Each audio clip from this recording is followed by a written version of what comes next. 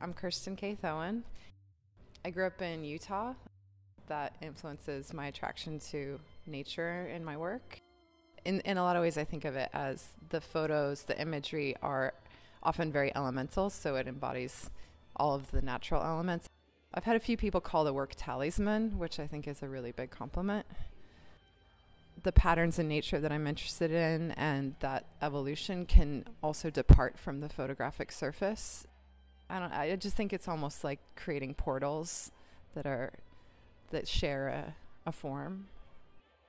My interest in patterns in nature has that tie to sacred geometry and into the way ancient cultures, ancient civilizations that all use geometry in their artwork. And I find that really fascinating. And in a way, I see it as being something that connects us to the stars and that stardust.